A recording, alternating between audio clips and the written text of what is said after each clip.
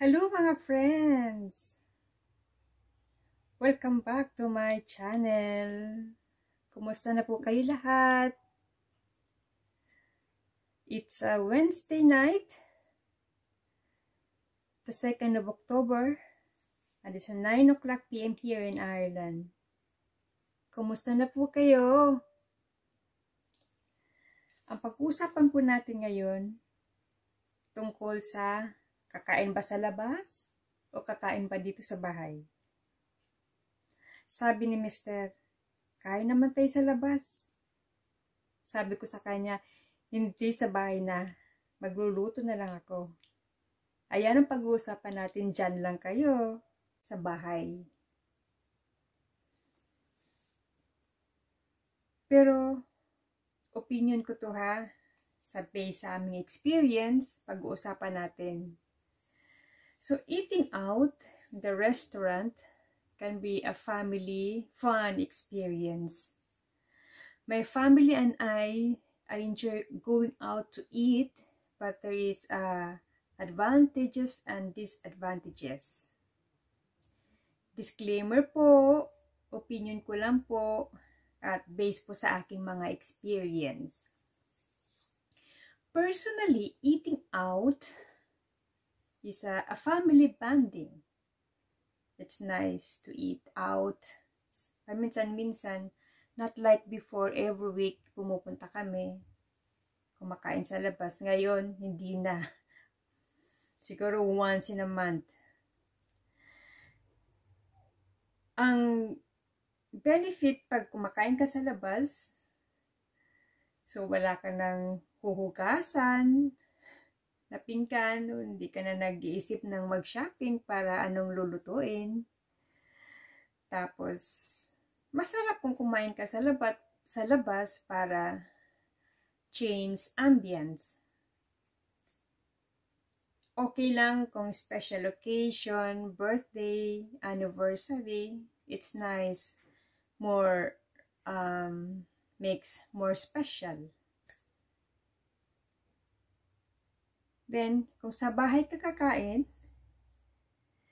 mas more safer and nutritious. At, syempre, nakakatipid ka. Pero mo, pag lumalabas kami, ang bill namin sa aming apat, 3 adults and 1 child, nagkuko siya ng 60 euro. Pero kung nagluluto ako, mga 30 lang yung bill namin. So, sa disadvantages naman, sa opinion ko lang din po ha, yung mga na-experience ko, um, syempre, mahal pag kumain ka sa labas. Very expensive.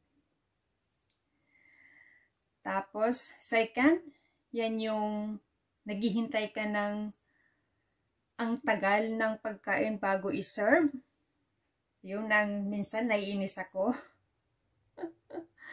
Tapos, yung kulang-kulang yung cutlery sa table mo. Ayun. Disadvantages yun sa akin. Then, meron pang uh, rude yung service. Hindi friendly. Pag nandyan ka sa mga restaurant, syempre, palagi kang nakasmile para yung customer, oh, 'di ba? Maging parang at home ka, feel feel at home, like something para ma-enjoy ka sa pagkain mo. Tapos ito pinaka the last um, na-experience ko yung bad food 9 o'clock PM na dito. So, ang weather ngayon, lumalamig na dahil meron daw parating na hurricane Simula daw bukas or Friday.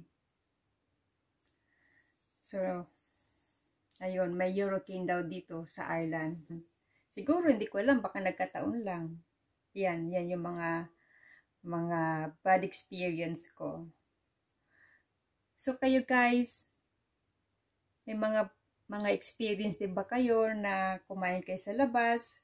Pero meron din nagsasabi na nakamura sila pag kumain sa labas. So, kanya-kanya tayong mga opinion. So, please comment below kung meron kayong mga suggestion. Welcome po kayo lahat dito, guys. So, hanggang dyan na lang tayo magtatapos. See you again soon. Bye. Good night, everybody. God bless us. Bye.